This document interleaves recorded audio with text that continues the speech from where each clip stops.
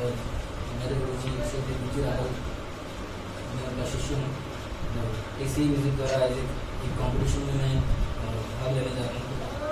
Please आप मेरा गाना लाइक और शेयर करें।